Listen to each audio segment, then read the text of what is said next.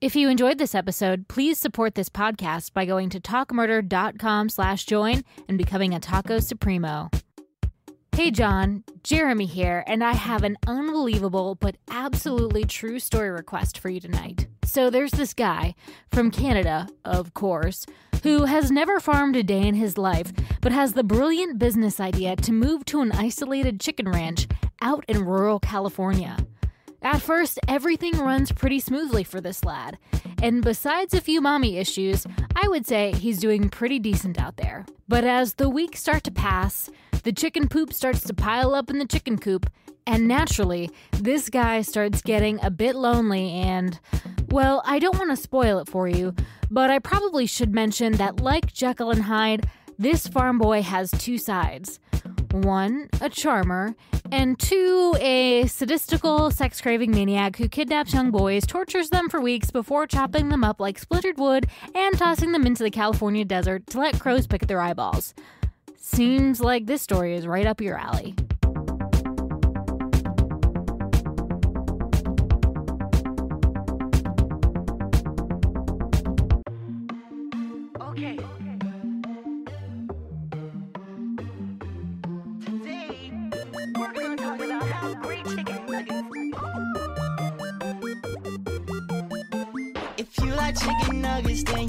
Gotta sing along. If you like chicken nuggets, this is your favorite song. If you like chicken nuggets, then you gotta sing along. If you like chicken nuggets, this is your favorite song. Sing. Chicken, chicken nugget, yeah. Chicken, chicken nugget, yeah. Chicken, chicken nuggets, yeah, yeah, yeah, yeah. Sing. Chicken, chicken nugget, yeah. Chicken, chicken nugget, yeah. Chicken, chicken nuggets, yeah, yeah, yeah, yeah. Oh, wow, that's super catchy. All right, guys, that is uh, the Chicken Nugget song by Nick Bean. You can find that on YouTube there.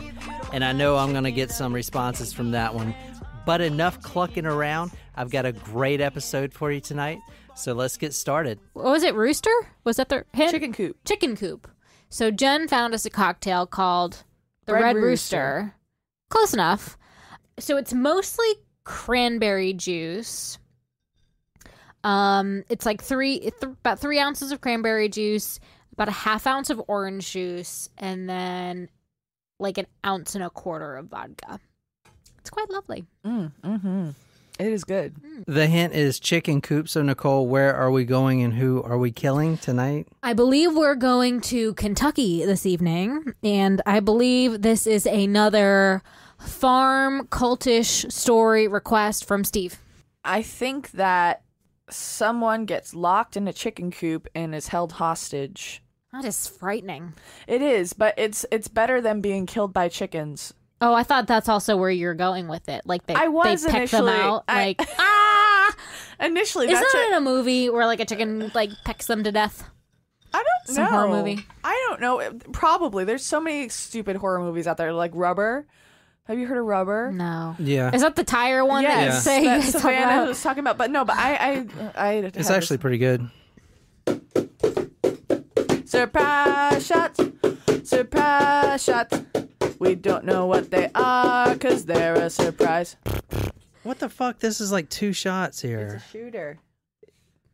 but it's it's definitely not a shooter. You do not put a cherry in a shooter, dude. just What the fuck? okay. Ju- just try That to is- good. try to filter it through your teeth so Can you I don't guess choke. before? Go for it. Is it the Firefly Cherry Moonshine? Ding ding. All right.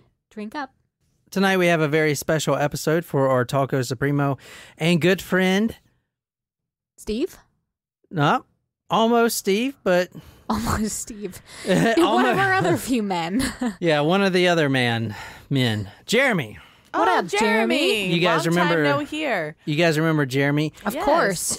Jeremy, one of two. Hey Tyler, also. So both Steve and Jeremy are known for requesting amazing stories. Jeremy requested the Axeman of New Orleans Oh, story, yes, which that I was a good one. which I loved to cover, and that was a great story. Mm-hmm.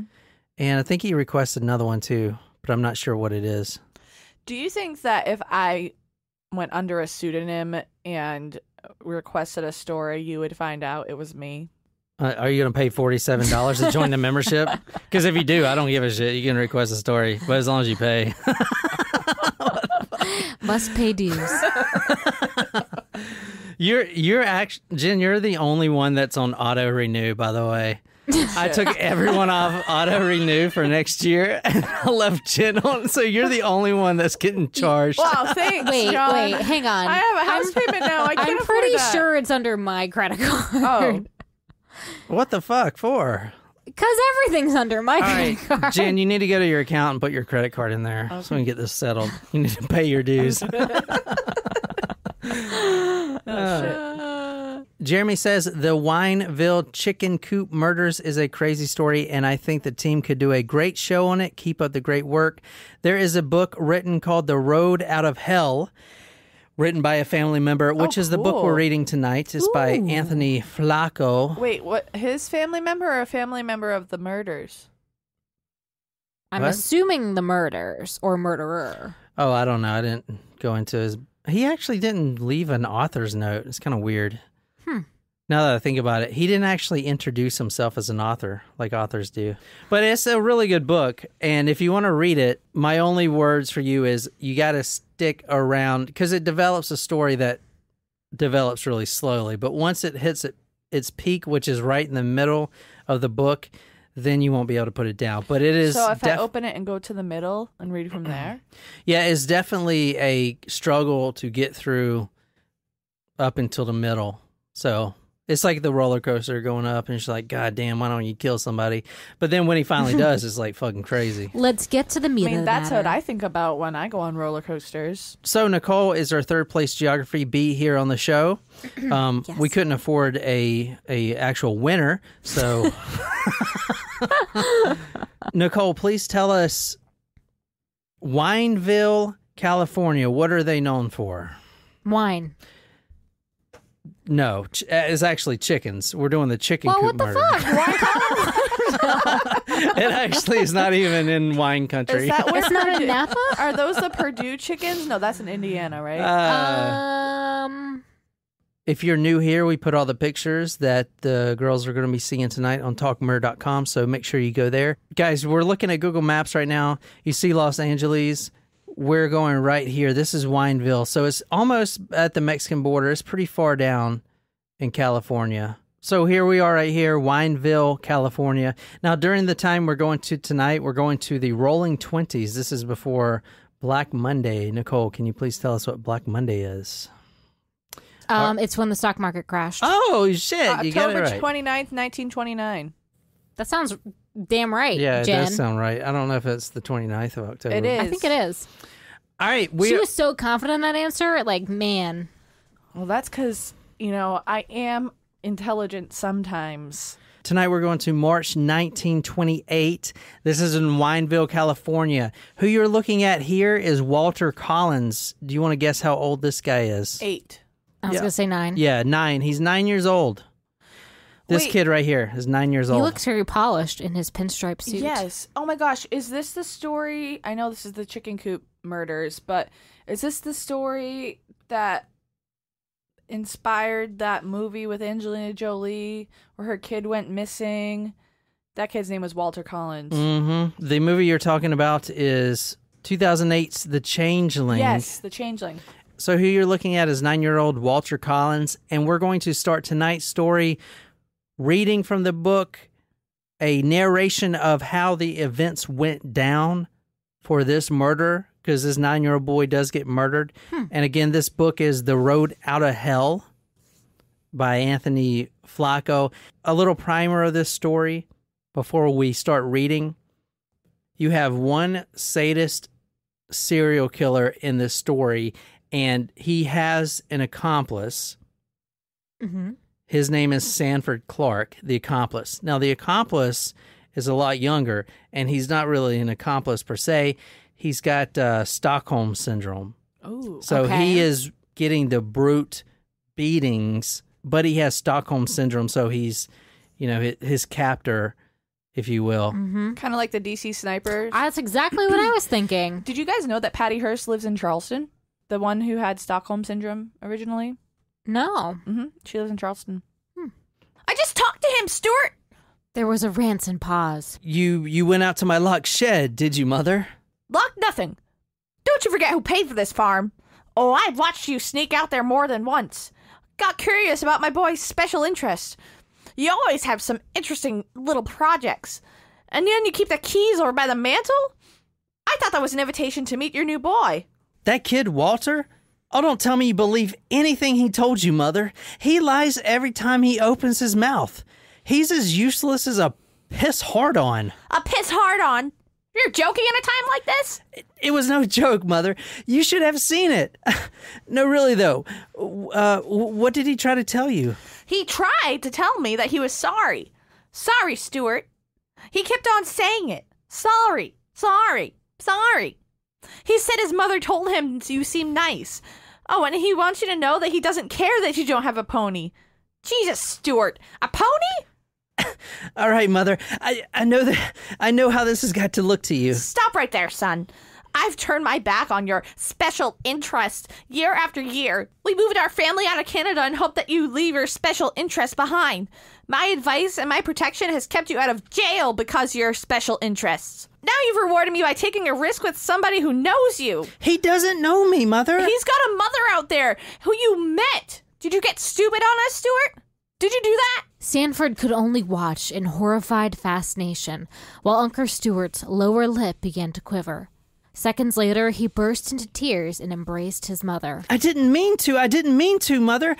But this time I, I woke up and I, I realized what I had been doing to him, and it was too late. I promise. This is really why you wanted me here, isn't it, Stewart? I don't care how much people ever laugh at me for being sick in the head, Mother. I will always love you, and I will always be grateful to my sweet mother for all of her help. Well, you better be. I am. All right, the quietest way to kill him is to use an axe. Every one of us will strike a blow on the boy so none of us can ever talk about it. A wordless rush of air blasted out through Sanford's lips. It was all the protest Grandma Louise would stand for. Shut up or you're next. What kind of a boy are you that you don't understand the bond between a mother and her son? Stewart, you pull Sanford along and meet me in the shed. Okay, Mother, but what are we supposed to tell the boy? Uncle Stewart asked. Not a thing. He's in there asleep. I stayed with him until he drifted off. So I'll be the one to go out and brain him first. Brain him. Brain. It'll be an act of mercy for a poor child.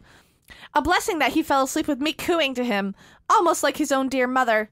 The next thing he knows, I will help personally deliver him to the arms of the Lord. What does brain somebody mean? Like But to axe to the brain. yeah. Oh, okay. It also means getting, Strange. no, not strange, getting a blowjob.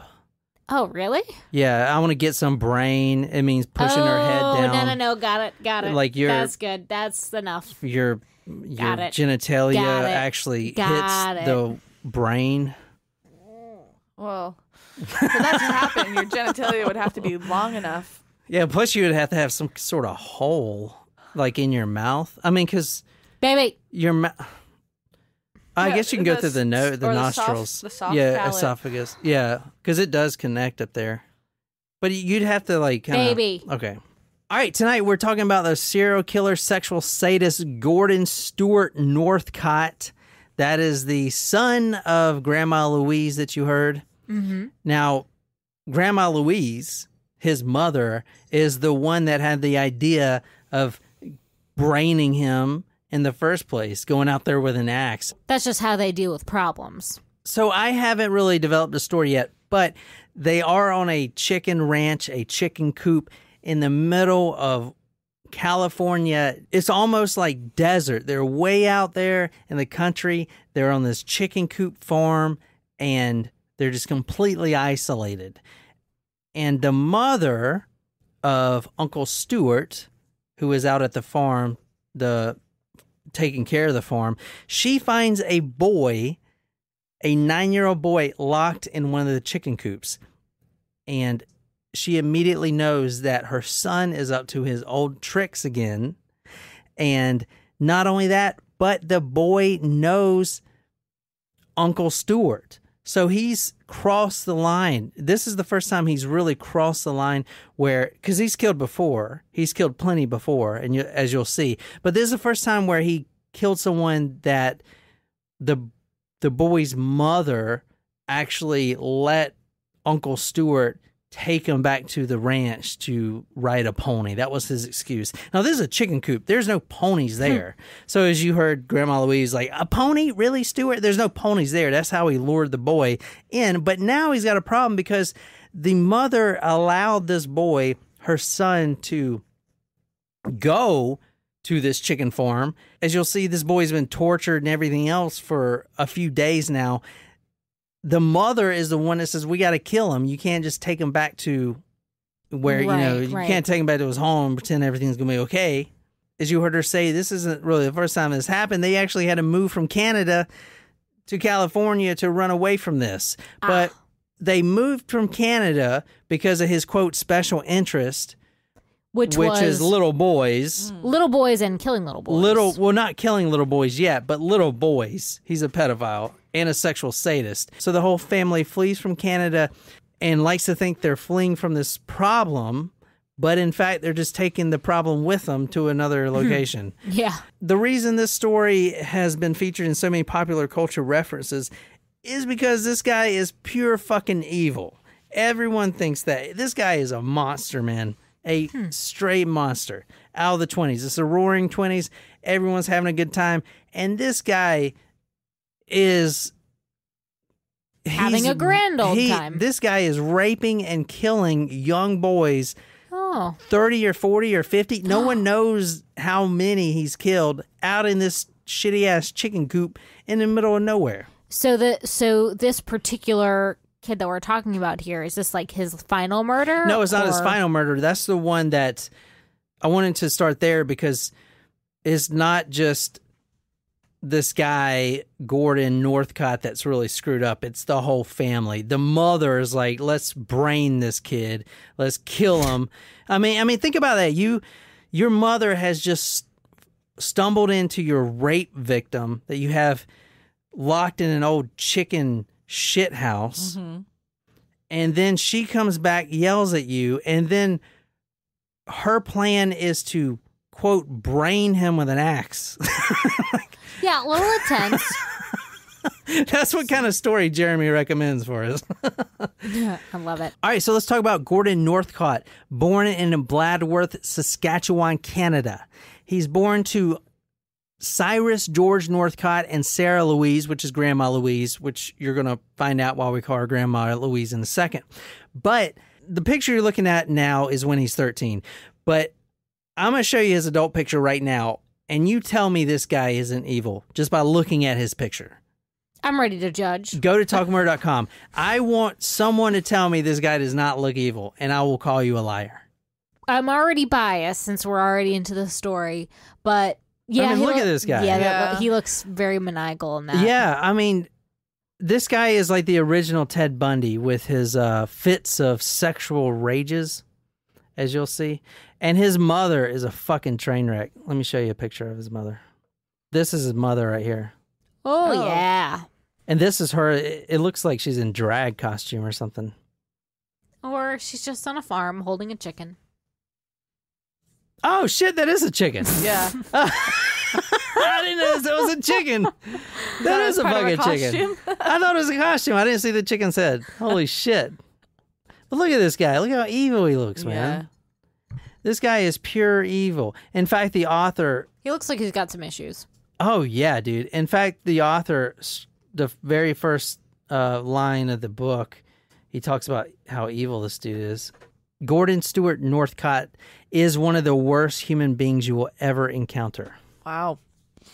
That's saying something. Especially all the humans that we've covered. So if you watched American Horror Story, you can think of Gordon's character as Dandy, the um the spoiled rich kid that was kind of in the circus season. Season four freak show. I see a man with his arms torn off. His insides are outside for all the world to see. And this one?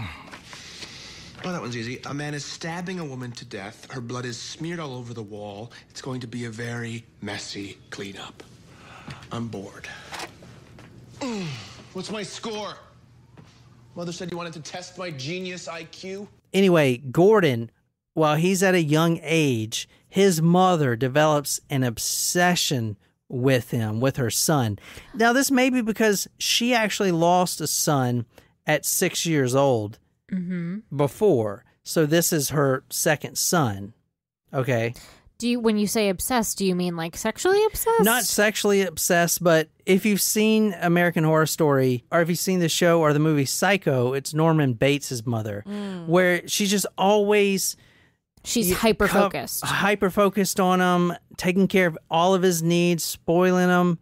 And every time he gets in trouble, even with the law, or even like this in real life, where he is a pedophile because they fled from Canada because he was sexually advancing and he tried to molest a, I think it was like a nine year old or eight year old. So like instead of time. having him being held accountable, Yeah. she was she's just like, under the "That's not my son," because the detectives come, and when they're in, the, when they're in Canada, the detectives come. That's not my son. You fucking get out of here. You don't know what you're talking about. There's no evidence. He would never do that. You know, defending just him. always defending her son, stuff like that. So how old is he at around this time. Around this this- picture looked awfully young. Yeah. So around this time, he's 21 years old. Wow. Yeah. wow. So he's He's uh, done a lot then. So they basically take him, the mother and the father, and run away from this problem. The whole time, he does nothing but play his piano, like the whole time, and he wants to impress his mother. So he's like,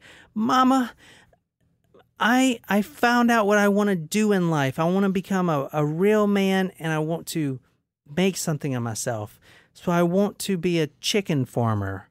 Because at the time there was like a big boom, not only that, but like in the vineyards, the spaces like that, the wine and the vineyards and stuff. There was a big boom in that stuff. This was uh, the roar, the roaring twenties. Everyone's farming and agriculture is huge. There's a lot of money to be made, and plus the family did have good money to just pick up and run from Canada, buy a house and a an additional property that's a farm with chicken coops and all this stuff just for mm. their son to have like a project to do. So does he have an, a lower IQ? Because in the picture it looked like he might. He's actually pretty intelligent. So okay, He's I was just- gonna say because if it was an IQ issue, No, it's not an IQ issue. then that would explain why they would be more apt to kind of try to get away from it and so the son was developing this unnatural interest. Now he's a he's a very smart kid. He's spoiled. He's he's actually a uh, a concert pianist. He's extremely talented at the piano. I mean, he is talented enough to play in big venues. You know, big ten thousand seat venues like what we perform in. You know, for our audience. Obviously. Is he now it seems like he is aware that he's being babied and he's taking advantage. He's definitely a manipulator. Definitely. It, the perfect example is the American Horror Story. That character plays it hmm. so well, where it's mm-hmm. just mommy's boy can never do anything wrong, and then mommy always comes to the rescue. And then the father, his father, George, is like the battered husband. Hmm. You know, he tries to call his son out, and then the mother's like, Don't you talk to my son like that. He's my blood. Like, fuck you. You know, talking to her husband Wow, like that. that's intense. Yeah, I mean, she, it's such a weird relationship that they have. It's not sexual, but she's just so protective. She favor because she lost an, a, another son, she like favors her son and values her son more than anyone else in the family. Yeah, so this is the farm right here, and this is a pretty cool picture that I found. It's kind of like a, uh, it's the out, it's the outlay of the farm, and they have little comic bubbles. You know what you see in a comic book, and it shows where the bodies are. Pretty cool. So from this point on, I'm going to call him Uncle Stewart, Gordon Northcott, the killer here. I'm gonna call him Uncle Stewart, and you're about to see why. He gets out to this farm. He starts with all these chickens, and they're trying to actually pay the farm off. They're trying to make money with this farm. You know, his dad's already put up all this money and everything else, you know, whatever for this farm. And his son's only mission is to try to make money with these chickens. They're going to try to raise these chickens, sell the poultry, sell the eggs, do whatever to make money out of this farm so they can start bringing some money in. John, you have farm blood in you. Is chi- are chickens more profitable than cows? It all depends on the operation, I guess. I mean, if you live right by like Golden State Foods and they ship to McDonald's, maybe it's profitable. but uh, you know, a good cow can get you a couple thousand dollars in the auction. So I feel like And- chickens are are less expensive to maintain because you can have so many of them at the same time. It's more expensive to get a cow. Well, you can get a cow and it'll maintain itself if you got enough pasture for it to graze in. But I mean, But I mean, like you could have probably like three dozen chickens for the same price. I don't know. That's a good than a question. When I was when I was on my grandpa's farm, I never, I never really asked him the economics of how he makes money. I I do know Hmm. he had chickens and there were there were pigs, cows. There was a llama. There was- that was definitely not bringing Oh, any money in. When? I think he died like a year ago. What? Yeah. No one told me about this. Yeah, we found out last time we were up there. We are like, "Where's the llama?" Because you know we keep buying John Llama things. Yes. Yeah. so they had everything, but I'm not sure. I I would have to ask my grandpa how he made most of his money. I do remember going to cow auctions though quite a bit and selling those things, and I know the cows brought in a lot of money. I never actually saw my grandpa selling any chickens, to be honest. You probably The- just like Yeah. get their eggs, and then when they, it's time to yeah. eat- So my so my eat. grandparents are subsistence farmers, right? So they pretty much raise the chickens for, their, own consumption. consumption. Yeah, and then Whoa. You guys never jinx. It's usually me and Nicole. Gordon starts farming, and guess what? He sucks at it. You know why? Because he's never fucking done it in his life, and he's a spoiled teenager right. that He, he thinks he's wants to impress his he's mommy. read one book, he's read them all, and he knows how to And he's a- yeah. manage a chicken coop. and he's a pianist. There's actually a pretty famous photo of this case where it just shows his hands because his fingers are not like calloused, like he works a day in his life. Hmm. So it shows his hands. Like they took a picture of his hands. It's kind of weird, you know. But that shows who this is. Like he is a sadist psychopath. So think about it right now. Mommy, I figured out what I want to do in life. And he's all preppy because they got money. What, son? What do you want to do? Mommy, I want to own my own chicken farm. Now, at this time, they already moved from California because of special interest. Mm-hmm. Why the fuck would this guy want to be on an isolated chicken farm? So he has the privacy to go murder people. There you go. That's the only reason he wanted it. So he can carry out his quote special interest on all these boys in the chicken farm. And that's exactly why that's exactly why he did it. it's quite the cover. Yeah. Yeah. So, but I he, mean, I feel like he could pi- have picked something that made louder noises than just chickens going, "Pakaw!" you know? let's just say he was trying to get some cock. Oh, yeah, he was trying to get some cock. Some cock. you made the joke twice. That wasn't. He was trying to get some cock. See, I, when I was looking up the drinks tonight, I was just gonna put cocktail. ah. Uh, but uh, So he gets out on this farm. Now his dad is like, dude, you got to make some mother shitting money with these chickens. Like I'm serious. Make some money. I'm tired of eating fucking breakfast burritos, man. So he figures out, guess what? I can't do this by myself. He didn't want to hire any laborers because that would eat up the profits that he's not even making. Naturally. So he gets this great idea. Instead of hiring laborers and spending all this money, he goes back up to Canada and he talks to his sister. His sister's name is Winnie Clark. Mm-hmm. Now, Winnie is the mother of Sanford Clark. So, Sanford, the other character in this story that you need to focus on, so there's two. You have Uncle Stewart and then his niece. Wait, niece or nephew? Which one's the guy? nephew. And then his nephew, Sanford, like Sanford and Son, hmm. he convinces Sanford's mom, which is his sister.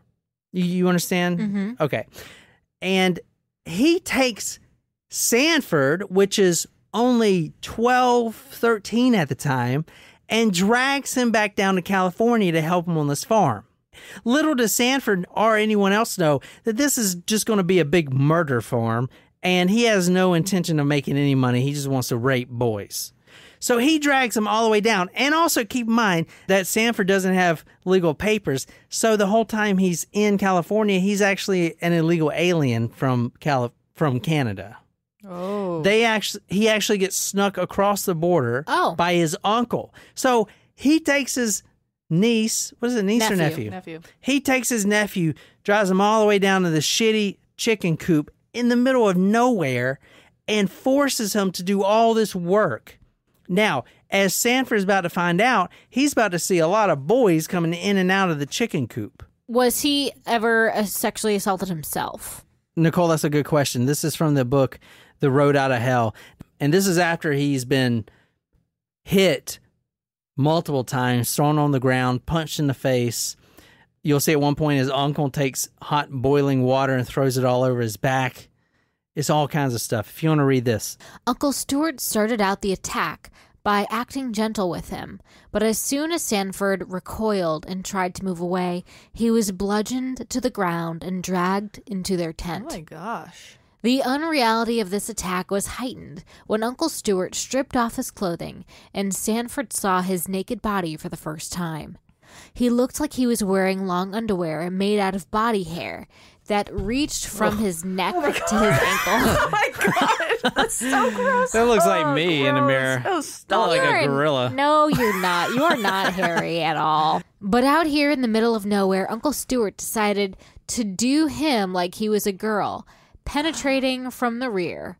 Sanford cried out in outrage, in fear, Oh, oh. in pain, but the cries were not Uncle. an attempt to summon help. Oh my god. Uncle, no, no, Uncle, don't do this. It's me. It's your nephew. Don't do this. Ah!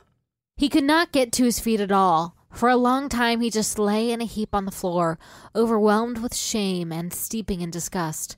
His rear end was torn and bleeding. It felt as if strips of barbed wire had been shoved into him. So oh, he God. he is raping his own nephew, who is twelve at the time. He brings his nephew down here, has him on this isolated farm. This kid can't go anywhere. So eventually, the nephew starts developing Stockholm syndrome because the book goes into a lot of details about Sanford and the emotions that he was feeling as someone suffering from Stockholm syndrome. Mm. So, for instance, he knows what it's like to be raped, and he knows what it's like when his uncle gets in these fits of sexual frenzies, and he's getting penetrated with all this stuff, including like splintered wood Oh, God. and everything else. So he is getting all this. So when he sees all these boys coming one by one and he hears the screams, he knows they're going through that exact same thing. He's guilt. He feels guilty that he never said anything to stop it from exactly. happening to others. he also not yeah, exactly. So not only does he have Stockholm syndrome, he also develops what uh, psychiatrists called survivor's guilt, where he is the sole survivor because he's not getting murdered because he's blood, right? He's family blood. So he's not going to get murdered. Well, he may, but the these r- random boys, which I'm gonna get into in a second, were mostly Mexicans. Hmm. Not even Americans. Don't even speak English.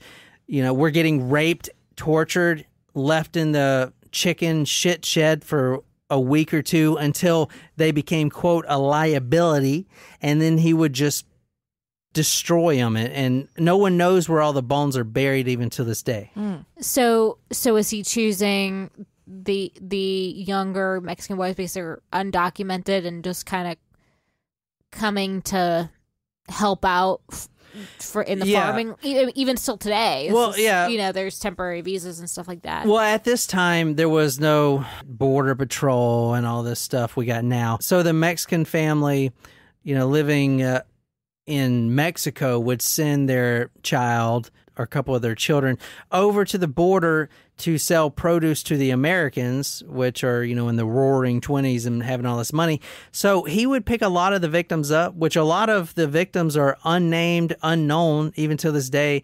But we know they're Mexican boys, eight, nine, and 10, that they were sent by their families to sell produce on the side of the road and that's where he would pick them up easy targets they don't speak any english but eventually but eventually uncle stewart gets tired of these mexican boys and starts wanting american boys and he wants a special type of american boy a well-fed well-treated all American type of family Hmm. boy.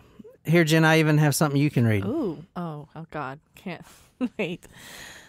Uncle Stewart knew how to make Sanford hold still while he kept on stroking him and stroking him until Sanford's body could not resist and he spurted all over and Uncle Stewart laughed and called him his little darling in a tone of voice that made the name sound like filth. Ugh. He ejaculated all over himself. I got Okay. it. I got it. Thank you. Thank you for that, John. Thank you for that. So this kid has never done this before, and it's his uncle that's making him do this. All right, so a few months go by, and Sanford, he's not participating in any of the killings. There's multiple Mexican boys coming there, and they're seeing Sanford. So this is the routine for Sanford, and if you read the book, you definitely see this. So He- the yeah, go ahead. so the mom know or Louise, Grandma Louise knows that this is happening. kind of, not really. She doesn't. She like kind of know. She knows. She knows. I mean, She fucking knows. Yeah, because they she stops at the farm randomly and she sees these random Mexican boys that are here today, gone tomorrow. I mean, sh- she knows that he is raping No, I, his nephew. oh, I don't think so. Well, probably I mean, you know, like contextually, mm. he's got the grandmother. kids around the same age. yeah, the grandmother hates Sanford. You know, Oh, so her she didn't her grandson. She she didn't care. This this So woman knew, is all about her son, Uncle Stewart. It's it. crazy. Anyway, this goes on for months. Sanford is seeing one Mexican boy after the next, and Sanford's job on the farm is the caretaker. He does everything because Grandma Louise says, You better do everything so my son doesn't get one callus on his finger. Type of thing. So he does everything. He he takes care of the hens, the chickens. He feeds them. He feeds his uncle. He feeds himself. He even takes food out to the victims in the shed so they hmm. see him, you know, and they can kind of relate to Sanford. And this is kind of the survivor's guilt because, as you'll see here in a little bit, going back to the the one that Grandma Louise cut up with the axe, the first of the episode. Before that happened, Sanford walks him out to the watershed so he can bathe. And this kid is like washing himself after he's been raped. You know, all he wanted to do is go see a pony. Now he's been raped for days by this guy. And he's all dirty and everything because Uncle Stewart likes him clean. So he's washing himself and he's looking at Sanford like, help me, help me. And then, you know, he realizes that Sanford's in this mess too. And he's also got the bruises and, and all this stuff going on. Sanford's just like, just do what he says. It won't be as bad if, you know, if you just go along with it and stuff like that. So he is washing this boy, helping this boy wash. You know what I'm saying? So that's a survivor's guilt because he is seeing this happening and he's powerless to do anything. He can't overpower his uncle and he's got this dependency now because he's been raped and you know, I guess rape victims do feel this where they just feel like guilty and and filthy, you know what I'm saying? Yeah, And because you let it happen. yeah, and mm-hmm. yeah, exactly. So he's feeling like this they whole actually time. did, but that's how it feels. And a lot of the Mexican boys, initially, before he started killing them, he would just drop back off at the fruit stand where they came from because they're not going to go to the cops. Number one, they're not even citizens of the country. And number two, who's going to go and tell the police that you've been raped? Like, as a man, like that. You, I, you know, you don't do that. You just keep that to yourself, type of thing. I guess a woman would feel the same way, but it's embarrassing. Over the next year and a half, life on the ranch settled into a pattern. Sanford tended to the farm and its stock. He was physically violated so often and with so many foul things that nothing was right with him down in his rear end. There was blood all the time, no matter what. His back still ached from the burn Uncle Stewart had inflicted on him. The petroleum jelly he had smeared on it every few days hadn't helped at all. In fact, it seemed to make it worse. Ugh. He Yeah. branded him? Well, yeah, he did. He threw the boiling water on him and stuff like Oh, that. oh, Yeah, oh. and he put the petroleum jelly on his butthole, obviously, but all over his back, which you don't put on a burn. It makes it worse. It, Right. It traps heat, heat in. in, yeah. yeah. So you don't do that. But this kid, for a year and a half plus, has been raped, and he was walking funny for a year and a half because his butthole never healed back up Poor guy. because you know if there wasn't a boy out in the chicken coop getting raped it was him getting raped. And some of the survivor's guilt is crazy. If you read the book for instance he talks about the heavy feeling that he starts getting the weight you know the weighing on his the physical weighing that he's feeling like an elephant because of the mm-hmm. guilt. Mm-hmm. And one of the things they go into is he actually is comforted by the screams of other boys out there because It's not him. yeah, it's not him. He's in his chicken coop. Now he's still chained up too. He's chained up and living in chicken shit, you know, while so he can't run away. Uh, his own nephew, but at least now he's got a few minutes of daylight left. He can read his, you know, his he was reading like western books and stuff, trying to get his mind away from all this. And the screams actually were comforting because it's not me. I can not get raped for a while. At first, they were Mexican boys, and then he started picking up Americans, and then he started murdering, which you're about to kind of see the first murder we think, but we're not really sure. Hmm. He would take these boys and promise them something, like in the the first murder we talked about. He promised a pony ride, or a lot of times it's his car because his car is like convertible. Mm-hmm. You want to come and ride in my car? You want to come see the ponies or whatever, just to get them out in the chicken farm. As soon as they're out there, clubs them and then throws them in the chicken coop, chains them up, and rapes them whenever he wants to for about a week. Doesn't feed them or anything, just keeps them chained up and just rapes them over and over and over until he gets tired of them, and then he'll dispose of them. That's what he's doing. Screams punctured his days, three of them, one right after another. It sounded as if the boy screamed until his lungs were empty, gasped in as much air as he could, then went right back to screaming again. The third scream was choked off. There was silence for a few moments. Sanford recognized the sounds that came next. They were from Uncle Stewart. He was in his frenzy now. Sanford knew the frenzy.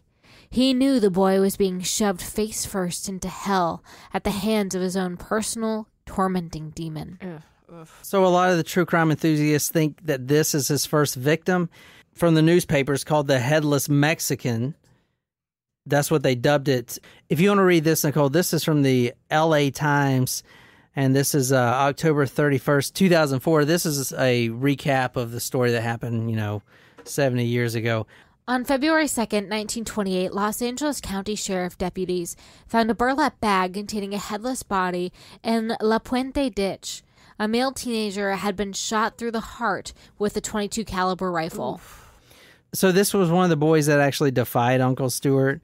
You know, they were at the fruit stand. He's like, I'm not going. Would you get the fuck away from me type of thing? And he's like, nobody, nobody disrespects me like that. And that's when he shot him. But this is the first time that Sanford has seen the murder. This is before the axe thing with Grandma Louise. This is before that. This is the first time that Sanford knows for damn well he's murdering people because he hears his uncle's car driving up to the chicken farm, which is like the worst sound ever for him, who's chained up. He hates hearing that sound because he knows he's about to get raped or, you know, whatever, beat down or whatever, scared for his life. And his uncle pulls up and he's like, Sanford. And at this point, he's calling his nephew, quote, my little darling. Gross. I know, right? It's fucking crazy. It it's the I can't really describe this guy, but the but the word. Uncle Stewart, he's a sexual sadist, so he will put you down. That's how he functions. He has to have someone humiliated on the ground for him to feel normal. Does that make sense?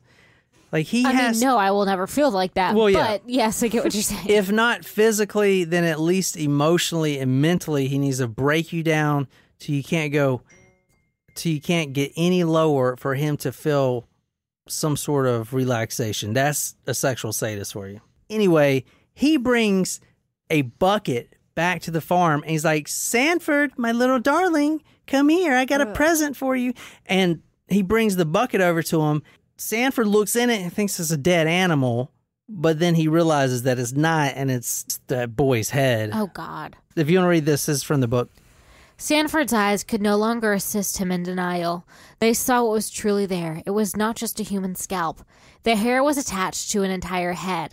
The head was attached to nothing. Oof. For another second or two, Sanford's brain sent back demands to the eyeballs for correction. But the object kept on being the freshly killed, severed human head of a boy or a young man. The skin was dark, like a Mexican or one of the local natives, but that he could have just been the blood. Yikes. But Yeah. that could but that could have just been the blood. So no one knows who the boy was, but a lot of sources think it was Alvin Gothea was the boy's name, but no one can be sure because There were many missing boys. exactly many missing boys. This head right here that he brought to his nephew, he demanded his nephew to put on a bonfire for several hours until it cooks down, and then he was to take like a uh, a log or something and just sit out there for hours beating the skull because you know it it just the the bonfire. I mean, let's look at Steven Avery doesn't get rid of all the evidence. There's still hmm. bone fragments, and there's actually pictures of that. I'll show you right now. So go to talkmurder.com to see these evidence photos of what was left at the farm. There wasn't much, but they did find bone fragments that was buried. And guess who dug all the graves? Obviously, the nephew, right? Hmm. Dug all the graves. He even dug his own grave at one point. Oh What? god. That's messed up. Yeah, so this is some of the bone fragments here. This is like all they found. Now, this was during the 20s, so I mean, how are you going to test all this? I mean, you, there's no way to tell who's this stuff came from. They know it's human bones. And how did this guy get all these details? Did he confess? That's a that's a really good question. Sanford, the nephew, is kind of the uh the singing bird, right? He's the one that canary in the confessed coal the canary mine. in the coal mine. So he did get prison time for this for his role in it, but he, like I said, oh, he was terrible. he was I feel a- so bad for well, him. he got five years, but he only served 23 months. And he's got a great story after that. He actually went from this, from getting raped by his uncle, to serving prison time for, you know, being an accomplice. an accomplice, which at the time, no one really knew what Stockholm syndrome. I mean, they knew what it was, but they didn't really, right. you know what I'm no saying? name for it. they were like, "Well, why didn't you stop all this type of thing?" At one point, this this got so bad that his uncle had brought an entire family, mother, the Oh. father, and four children, and he was going to kill the mother and father and two of the bigger kids, and then rape the Oh. two children.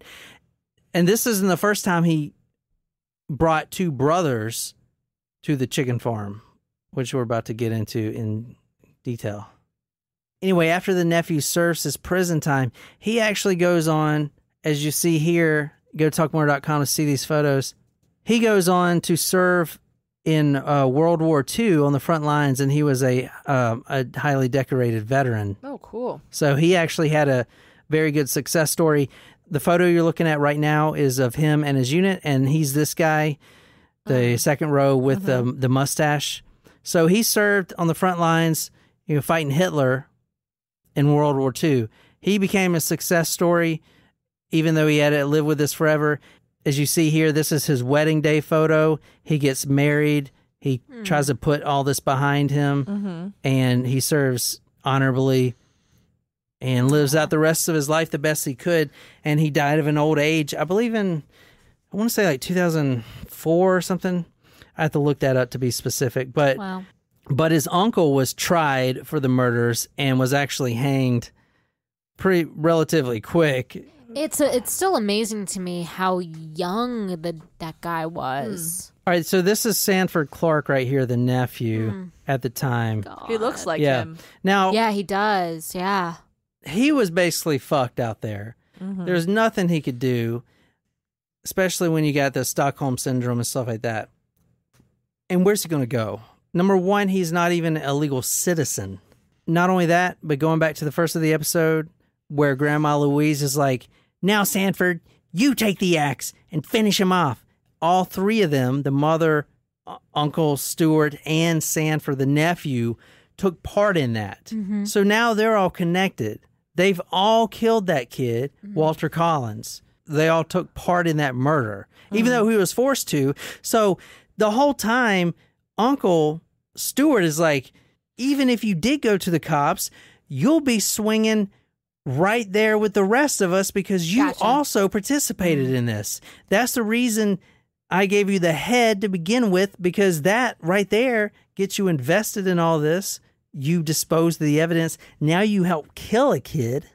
So every once in a while, he would bring these boys back. Now, he never really buried them at the farm. That was only a few times. So the bone fragments that you saw in that photo, that was three of his victims. That was it. You know, but he's had 30, 40, 50. No one knows how many because he would take them back and then he would drive them off to the desert. They're basically in the desert and put them God knows where. Mm. And no one knows to this day where all the victims are. You know, they've never been found. But he would randomly bring these boys home. And one time he brought two brothers home and he demanded his nephew to clear out one of the chicken coops for him. It was 12 year old Lewis Winslow and his 10 year old brother Nelson. Mm. They were both raped right there together the whole time. It's actually screwed up because as a sexual sadist, this is what he did. He actually convinced the boys that he was going to let them go. They concocted a story. He's like, all right, this is a story you need to tell your parents, the police, if they ask, yada, yada, yada. You ran away. He actually wrote a note, said, Hey, mom and dad, we ran away to Mexico. And now they were going to come back to the family and say, Oh, we changed our mind. He made them believe all of this stuff. Hmm. I wonder if he did that more than once. And then guess what?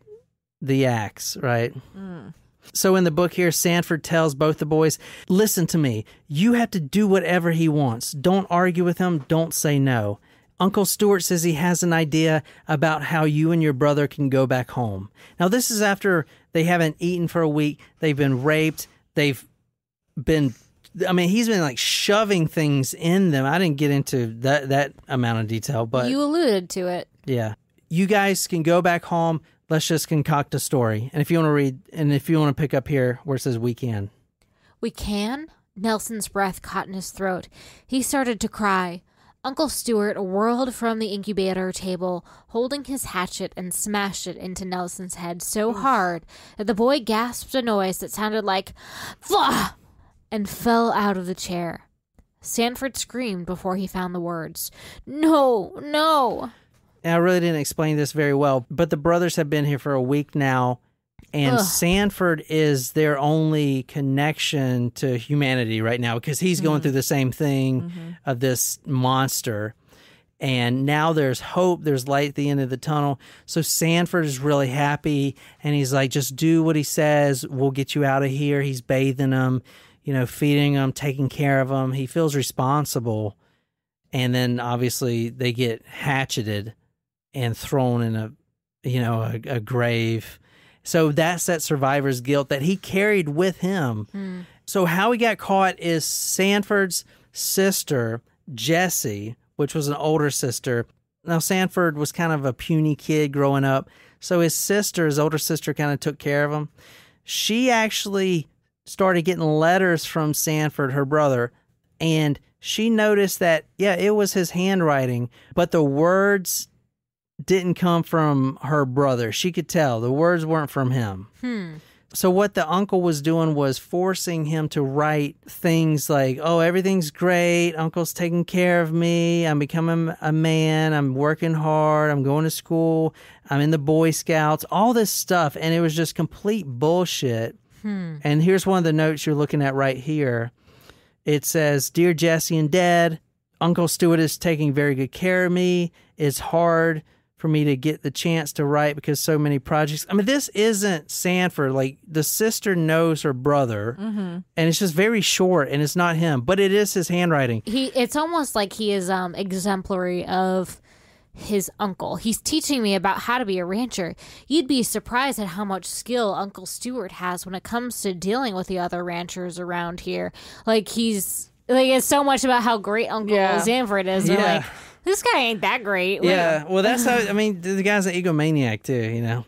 So she's the reason that this whole thing stopped. There would have been a lot of more murders if she didn't save up her money and get a ticket, go down to California, and because she hated Uncle Sanford, hated him, and the whole time, even before all this, she thought he was a just a shit bag. So she basically forces her way on the farm, and then if you kind of read the book, you'll see where Sanford's like, I don't want to talk about it. You know, nothing's happening, keeping up this facade that he's been in the story that you know the uncle concocted for him.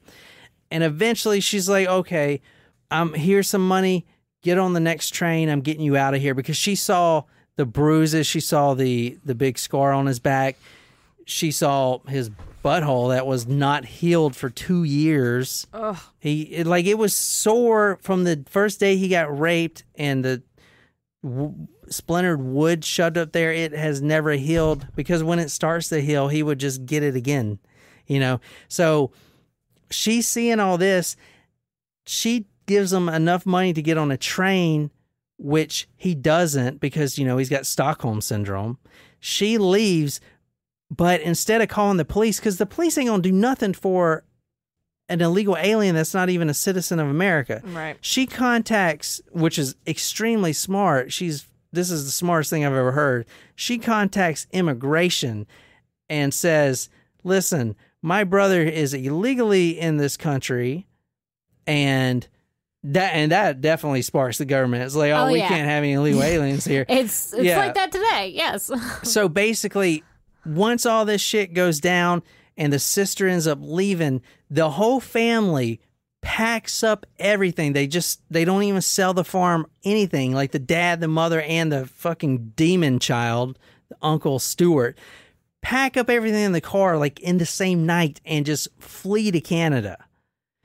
Interesting that they would flee to Canada. Everything they, They, they should had flee to fucking Mexico. they had a guys. house in they had a house in California and this chicken ranch and they and all this equipment and everything they just pack up the car one night and flee just like they did in Canada because their demon seated son has you know littered a bunch of bodies all over the farm and now they know shit's coming down. So they just flee and obviously they get stopped trying to cross the border and voila they're all put in prison Ah. the uncle stewart is hanged for his you Special know, interests. for his quote special interest and then the nephew is sent to prison he gets out in 23 months good behavior and he makes himself a, an honorary war uh, veteran combat veteran fighting the nazis i mean he makes a Did he fight for Canada or for the United States? uh, that's a good question i don't know that answer I would guess Canada. i would but- guess canada Yeah. That's a good question. I was,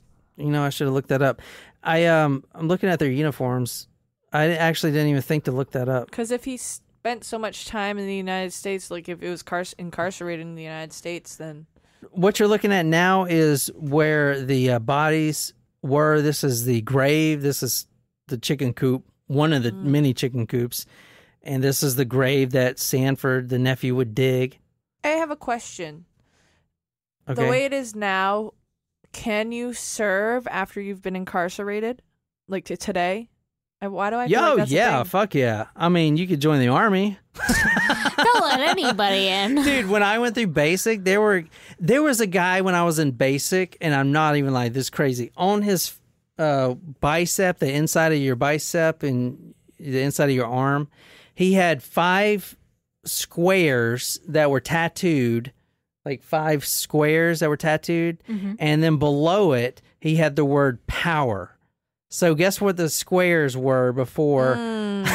It was oh, white God. power. And he just got a tattoo artist to cover up the word Oh my white. there were gang members. You know actually a lot of the gangs especially the korean gangs will send their gang members their lower level gang members that are, just got initiated or whatever into the armed forces to learn the tactics Interesting. yeah that Wow. hap- that happens a lot actually so you- and then they'll they'll get out after their five years four years and now they have you know the experience to go you know carry out hits hmm. or whatever So you you're charged with a crime. You lose your right to vote, but you can still serve your country. oh i don't, I don't know about voting I- if you're a felon, you can't if vote. you're a felon, yes, and you can't leave the country. Right. And it all depends on what time we're in. If we're like 9 11, I mean, floodgates open up. Let's see how many soldiers true. we can get. You know what I'm saying? Now it's like, uh, do we need a big army right now? Um, I mean, yeah, we always, Always, do. yes. Yeah, always Yeah. do. No, I'm not saying we don't. I'm just saying. No, I know America's answer will always be fuck Fuck yeah. America. That's what makes us the greatest goddamn country in the fucking world. actually, well, actually, th- this country's pretty fucking good. Yeah, I mean, I've we, been to we have pretty shitholes out there, yeah, we do have it good. but I mean, there are some issues out there. There's definitely some questionable things. Yeah, I mean, but I think you get that with almost any country you're in. There's always going to be something. You're never going to have the perfect, you know, you idyllic society. There's one thing um, that always has stuck out to me, and I can't remember what I saw this on, but it's like, what is America like from s- studying human behavior? Americans are rated like far and above anyone else in confidence. that is fucking true. like, um, we are fucking confident that we're fucking awesome. Which is, makes us awesome, man. So that's my story on the Wineville murders. I know it's kind of a spread out story. It's hard to go into detail, and I didn't want to make this more than one episode, but I hope I gave you a good synopsis of it. I, I hope I did a good job, and that was a request from Jeremy.